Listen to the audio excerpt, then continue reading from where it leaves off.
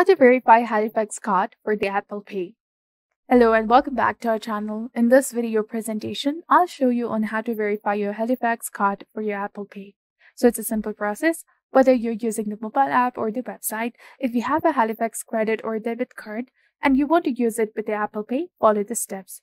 First of all, you have to visit the halifax.co.uk and tap on the menu at the top if you're using the mobile phone and then select the borrowing category and choose a credit card. If you're using your computer, scroll all the way down and click on credit cards option over here.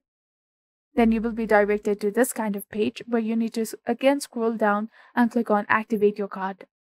Look for the option to verify your Halifax card for the Apple Pay under the quick links or scroll down to find the card activation option. Follow the instructions provided on the page to complete the verification process. And for the mobile app, sign in, select your card, and activate it for the digital wallet. If you prefer doing it online, access the online form guide, input your card details, and activate it. Once your card is verified, you can add it to your Apple Wallet, and this is how you can verify the Halifax card for the Apple Pay. If you found this guide to be informative, do not forget to like, comment, share, and subscribe to our channel for more amazing tips and tutorials. And don't forget to hit that bell icon to stay updated with our latest contents. Thank you for your viewership and support. See you in the next one.